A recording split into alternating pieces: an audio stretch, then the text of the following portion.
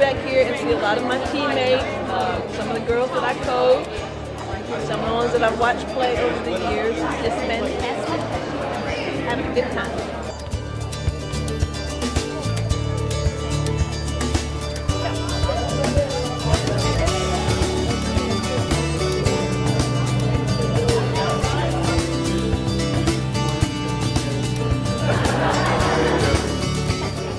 What do we have here?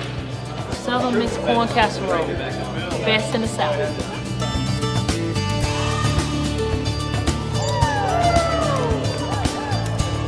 We had a good time. It was um, wonderful being able to mingle with former players and uh, getting to know what's going on with them, and hopefully we'll be able to continue that.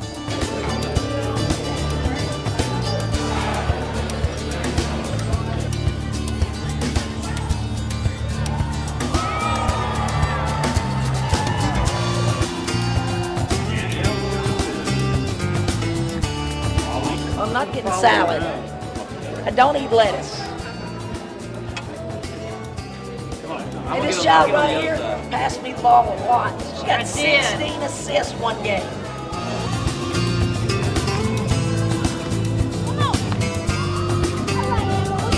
It's, it's been wonderful just to get together with people you haven't seen for the last 10 or 20 years and to also see the current players come in and feel and know what they're feeling on the court when they're trying to win. It's just been awesome and I hope in the next 40 years we get together and do it again.